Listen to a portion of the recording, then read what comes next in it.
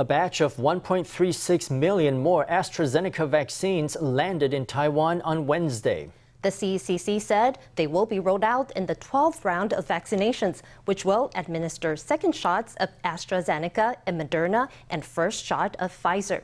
More than 4 million people are expected to be vaccinated in the 12th round, the largest volume for vaccination round so far. Due to the high number of people getting injections, administration will be split into two stages, depending on the recipient's age and on the date they received their first shot, if any. The first stage will administer vaccines between October 22nd and October 27th, and the second stage between October 28th and November 3rd.